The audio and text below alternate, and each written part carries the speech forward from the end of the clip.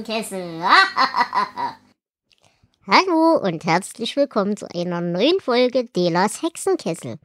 Ja, mein Name ist Dela und ich wollte euch heute mal wieder ein bisschen Quatsch erzählen, denn seit der letzten Aufnahme ist ja auch gut ein Monat vergangen und seitdem sind viele Dinge passiert. Und deswegen würde ich sagen, fangen wir auch gleich mit dem ersten Punkt an. Delateratur. Denn tatsächlich ist Delateratur dieses Mal sehr äh, knapp bemessen, möchte ich mal sagen. Das liegt äh, daran, dass einerseits schönes Wetter war und ich andere Dinge getan habe, als zu lesen. Und andererseits daran, dass ich äh, ja mich zurzeit an den Stephen King-Aufgaben ein bisschen die Zähne ausbeiße. Ich habe ja das letzte Mal schon über Revival gesprochen. Die Folge dazu ist ja mittlerweile. Die Folge dazu ist ja mittlerweile mal raus.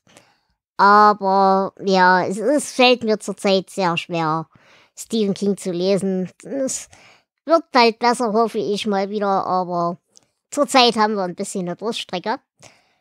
Ja, naja, und diese Durststrecke hat sich eben auch äh, darin manifestiert, dass ich für ein Buch sehr, sehr lange brauchte, nämlich Finderlohn, was der zweite Teil der Bill Hodges äh, Trilogie ist. Ja, es war besser als der erste Teil. Ich musste wesentlich weniger schreien. Ich will nicht allzu viel verraten, ich sag nur so viel. Die erste Hälfte vom Buch ist echt okay. Nicht berauschend, aber echt okay. Und die zweite Hälfte versinkt wieder völlig in der Bedeutungslosigkeit. Aber alles dazu werdet ihr bald hören im König Bube Dame Gast. Dasselbe gilt auch für die nächste, äh, den nächsten Roman, den ich besprechen will nämlich Horns von Joe Hill. Und hier muss ich sagen, auch da, wie gesagt, werdet ihr bald äh, Details hören bei äh, Königsbube Dame Gast Family and Friends. Aber ich habe Spaß gehabt. Es, es hat ein paar komische Momente, aber im Großen und Ganzen war es echt ein gutes Buch. Und ich muss sagen, ja, da waren ein paar Charaktere drin, die waren ernsthaft unangenehm und eklig zu lesen. Aber das spricht in meiner Welt wieder dafür, dass das Buch echt gut geschrieben ist. Also, Joe Hill hat mich bis jetzt tatsächlich nicht enttäuscht. Und ähm, ja, also generell kann man, glaube ich, sagen, der macht sehr viele Dinge richtig, die sein Vater mittlerweile falsch macht. Ja, und dann mache ich weiter mit meinem nächsten Großprojekt, nämlich Dune. Und da habe ich den, äh, ja, den zweiten Band der Prequels gelesen nämlich Dune the Machine Crusade von äh, Brian Herbert. Das ist ja der Sohn vom eigentlichen ursprünglichen Autor. Und ich muss sagen, auch daran habe ich wahnsinnig viel Spaß gehabt.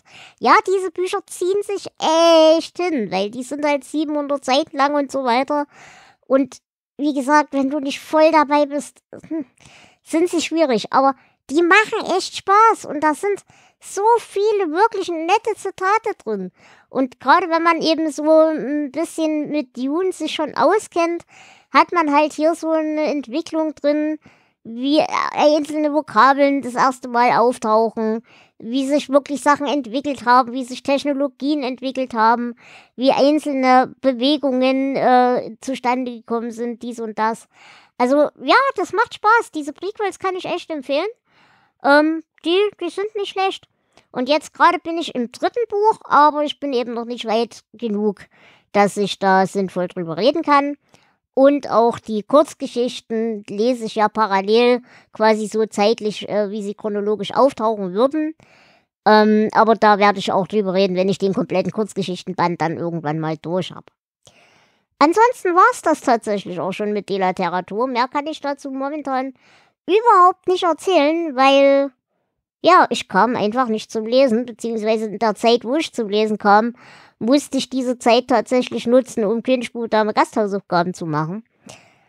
Aber es kommen auch wieder bessere Zeiten, man hat auch wieder mal irgendwann mehr Zeit und mehr Nerven und hoffentlich kommen dann auch mal wieder bessere Bücher auf uns zu. Deshalb gehen wir einfach zum nächsten Punkt, nämlich Dela bastelt. Denn gebastelt habe ich tatsächlich äh, Vielleicht nicht unbedingt im klassischen Sinne, aber doch recht viel. Ähm, erstens habe ich nach langer, langer Zeit mal wieder mein Malzeug ausgepackt. Und es stellt sich raus, nein, ich habe immer noch kein Talent. Aber ja, es macht immer noch Spaß. Äh, und generell möchte ich an dieser Stelle mal eine Lanze brechen. Leute, macht einfach Dinge, die ihr nicht könnt, aber an denen ihr Spaß habt. Wir müssen nicht für alles einen Nobelpreis kriegen und wir müssen nicht an allem äh, produktiv sein und gut sein und so weiter. Ihr könnt auch einfach Blödsinn machen, nur weil ihr Spaß dran habt. Äh, Spaß hatte ich in letzter Zeit auch sehr viel mit dem Designen von Merch. Ich habe für die De La Saster Productions nämlich Dinge gebaut. Einerseits T-Shirts und Tassen und Turmbeutel und Dinge und Quatsch unter anderem für den Hexenkessel, für die Trenchcoat-Druckers. Dann habe ich ein T-Shirt für den Limastan entworfen, äh, Tassen für König, Bube, Dame, Gast und die äh, De La Saster Productions. Und wenn ihr solches Merch haben wollt, dann guckt doch einfach mal auf unsere Webseite und äh, schaut mal, was es da so gibt und haut mich einfach mal an. Ähm, ich verkaufe das Zeug nicht, ich würde euch dann tatsächlich äh, ja, einfach das, das Bild zur Verfügung stellen. Und dann könnt ihr das selber durch einen Druckservice eurer Wahl jagen, wenn ihr das gern möchtet. Ihr müsst euch halt nur das Motiv aussuchen. Äh, wie gesagt, ich will da gar kein Geld verdienen, ich will da auch keinen Shop irgendwie aufmachen oder sowas, weil dann hast du eben wieder das Problem, dass du Einkommen hast und Einnahmen und Zeug und bläh.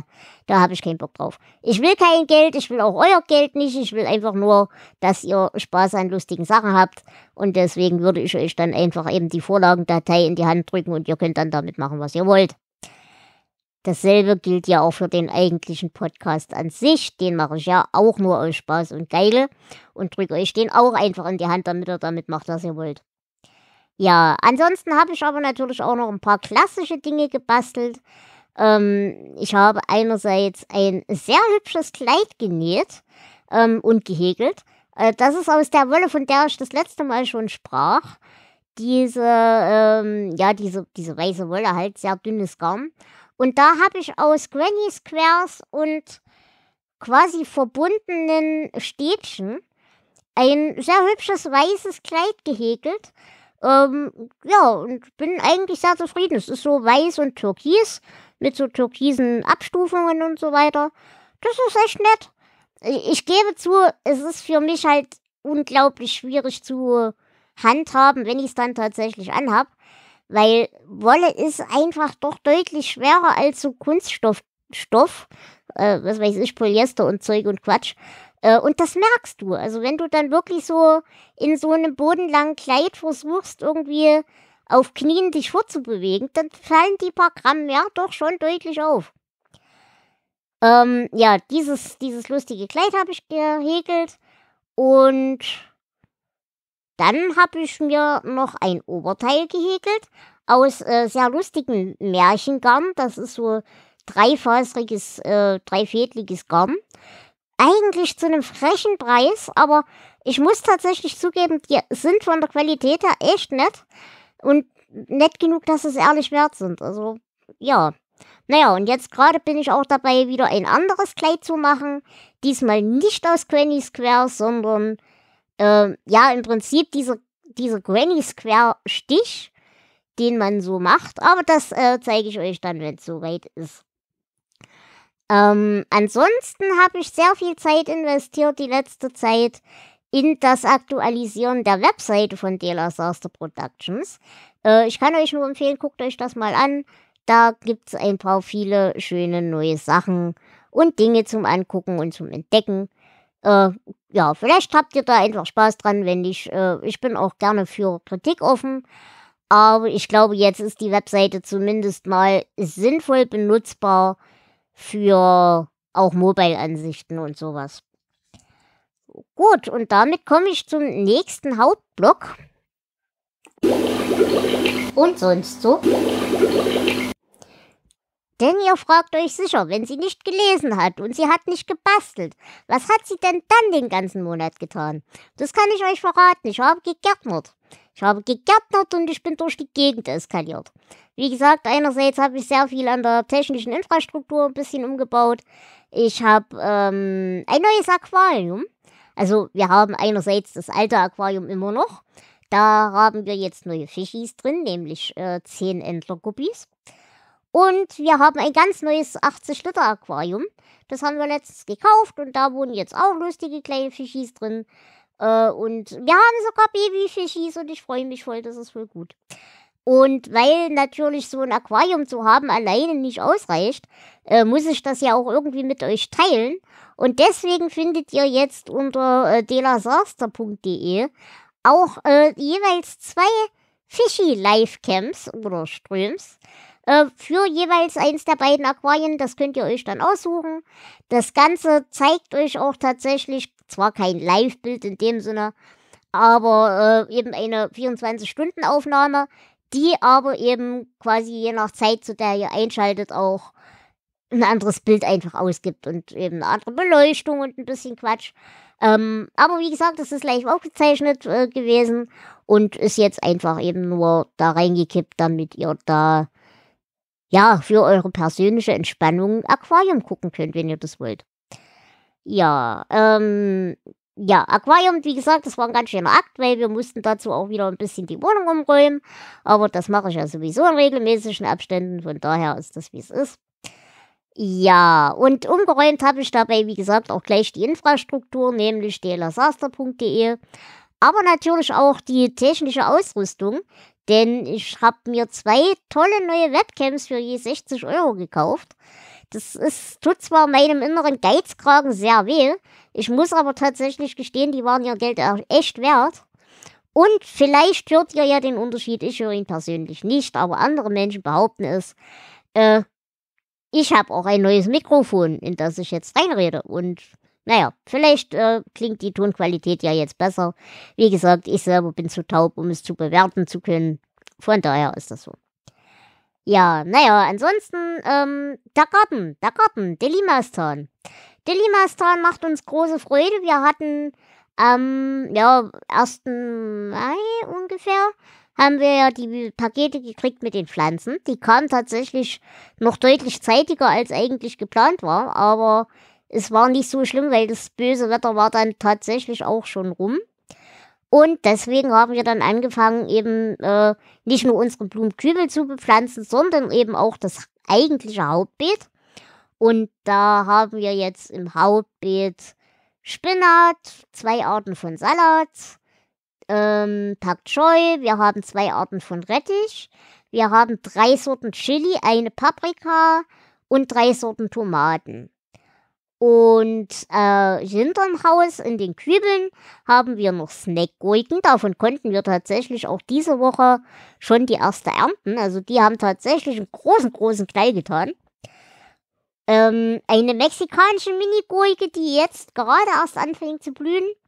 Dann äh, die Birnenmelone, über die ich das letzte Mal schon gesprochen habe, die habe ich jetzt auch schon rausgesetzt. Die wohnt wie geplant neben den Erdbeeren.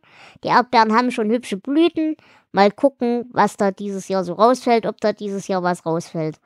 Aber ich denke, im Großen und Ganzen können wir auf diesen Garten echt stolz sein. Und zumindest bis jetzt hat es auch alles die Schnecken überlebt, aber wir haben auch großzügig mit Schneckenkorn gearbeitet.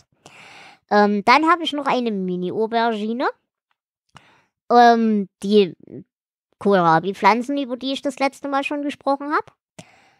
Und wir haben Zuckerschotenpflänzchen und Erdbeerspinat, wobei die beiden tatsächlich ein bisschen sehr, ja, sehr träge sind, habe ich so den Eindruck. Nun, stattdessen, äh, äh, äh, statt, statt träge ist aber tatsächlich das genaue Gegenteil der Liebstöckel der ja eigentlich gar nicht mehr da sein sollte, aber der wächst und wächst und wächst und hört niemals auf und wächst und wächst und wächst. Das ist tatsächlich ein bisschen beeindruckend. Ja, ja, ansonsten haben wir noch ein bisschen Knoblauchkraut und so Kleinkram, aber nichts allzu Großes mehr. Aber wie gesagt, also gerade mit der Gurke bin ich sehr zufrieden. Ich bin mal gespannt, wie die diesjährige Tomatenernte ausfällt. Die Thaibeere hat jetzt auch schon Blüten. Ähm, tatsächlich auch schon sehr groß und sehr viele Blüten. Da bin ich auf jeden Fall mal sehr gespannt, ob da dieses Jahr noch Früchte kommen oder nicht oder wie auch immer. Angeblich soll es ja ab dem zweiten Jahr losgehen und das zweite Jahr hätten wir jetzt. Besonders stolz bin ich aber tatsächlich auf meine Lilien. Auch die waren ja so ein Experiment, bei dem ich nicht wusste, ob sie werden. Aber mein Gott, sind die groß geworden inzwischen. Sie blühen noch nicht, aber die sind schon echt riesig und die sehen echt hübsch aus. Also ich bin auf jeden Fall mal gespannt, wie sich das entwickelt. Ja, ansonsten habe ich nicht allzu viel Quatsch gemacht. Ähm, ich bin neulich ein bisschen in ein Spiel versagt, das der wundervolle Zweikatz mir äh, geschenkt hat zum Geburtstag, nämlich Wildflowers. Ein sehr hübsches, nettes, kleines, ja, Farming-Spiel, wo ihr eine Hexe spielt. Ähm, ja, in so einer kleinen Community. Ihr müsst halt Dinge machen. Ihr müsst Zaubertränke herstellen, dies und das und Zeug. Äh, echt nett gemacht mit einem echt hübschen, diversen Cast. Mit sehr hübschen kleinen Geschichten. Große Empfehlung an der Stelle, das hat mir wirklich Spaß gemacht. Und ich bin auch noch nicht durch, ich habe bloß einfach zurzeit nicht die Zeit gefunden, weiterzuspielen. Ansonsten habe ich noch ein bisschen gekocht und gebacken, weil hier war ja letztens auch wieder Familiengeburtstag. Und da habe ich nicht nur die obligatorische Erdbeertorte gebacken, sondern auch einen ganz und gar fantastischen Ananas-Kokosnuss-Rumkuchen. Äh, ich hatte überlegt, ob ich das in eine Dela Terra, äh, in eine Dela Kochstudio Folge umwandle. Tatsächlich war es aber zu improvisiert, als dass ich das sinnvoll hätte aufnehmen können. Aber irgendwann werde ich davon bestimmt noch mal eine zweite Version machen, denn er war sehr lecker. Und dann werde ich das sicherlich auch dementsprechend dokumentieren. Ansonsten hatte ich noch einen, äh, ja, einen kleinen Snack gebaut, nämlich so Kuchenherzen, also diese diese Mini-Biskuitherzen.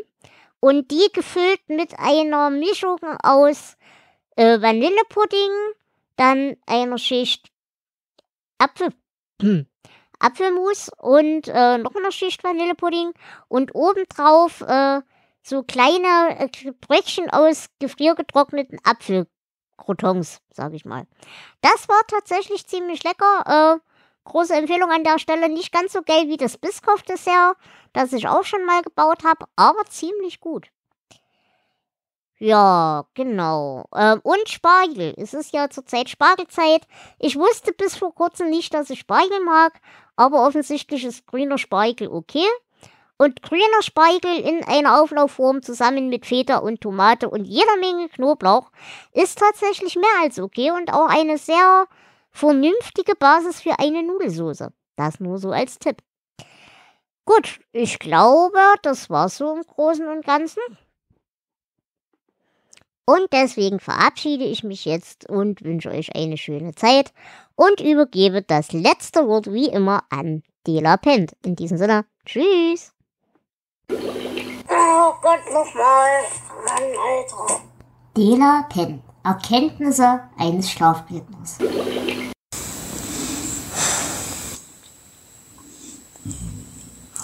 Ich muss erst irgendwas wissen. Muss ich noch irgendwas irgendwie zusammenbasteln?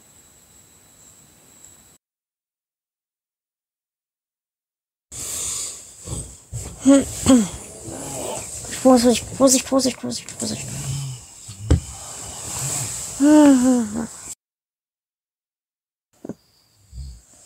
I am indeed very happy that I made it up to Mount my own. Na, ist eine Entscheidung gefallen? Hm? Hm. Gut, wir bleiben ein. Hm. Das hängt sich aber wieder. Das geht nicht ganz schnell.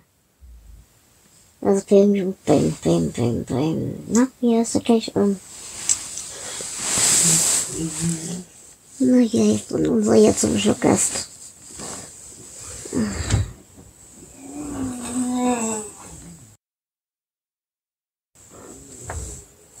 Kann ich dir als Kind irgendwie helfen? Brüderchen oder Geschwisterchen oder irgendwas. Tut mir leid, ich wusste nicht als Kind. wie das geht und wie man das ändert. Alles gut. Du bist toll. Ich hab dich lieb.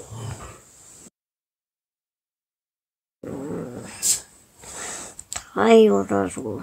Also, naja, also warte mal. Hm? Zwei irgendwas und ein irgendein. Oh, das war ich, Entschuldigung. Das ist ja Montag. Das ist ja Pfui. Oh, aber warum ist denn immer alles Pfui?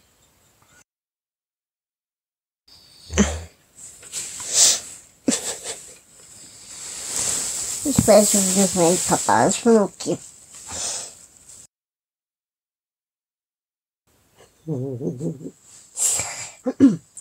Das ist ein anderes Thema für einen anderen Tag. Ähm,